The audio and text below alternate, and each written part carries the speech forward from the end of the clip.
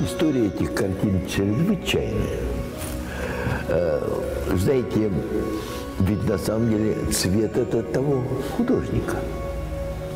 Но я переворачивал и видел совсем другое. Вот для меня я вижу, что это древняя египетская женщина, на которой летит этот суперсовременный самолет.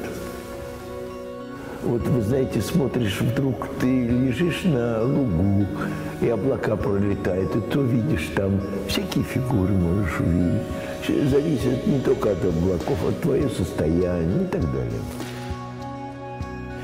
Тут, вы знаете, Лена позвонила так и сказала, что есть один любитель, он хочет, чтобы купить у вас работу эту. Я не продал, я даже не спрашиваю, за какие деньги, потому что, мне кажется, это все вместе.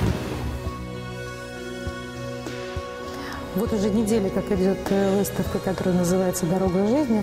И очень многие музейщики и вообще другие люди, которые приходят на выставку, спрашивают, а почему же вот, в общем-то, в таких залах, а, допустим, не на Пушкинской 10, или, допустим, в музее Ирарти, но дело в том, что проще всего этого художника представить вот именно там, где я сказала.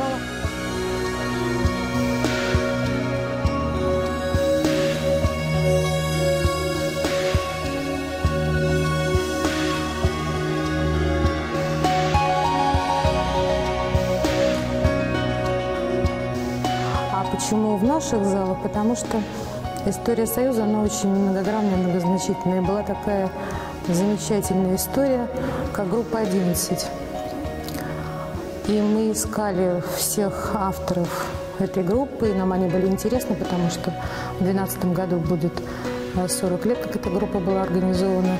Это так называемое левое, сою- э, левое крыло Союза художников.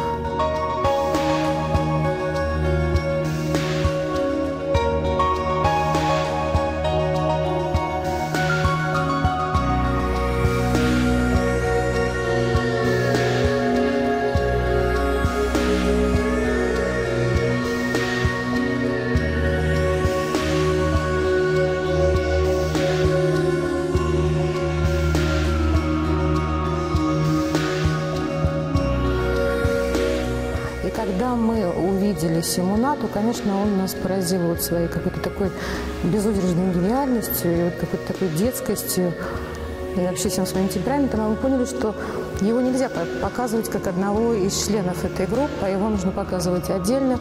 И таким образом зародилась идея этой выставки.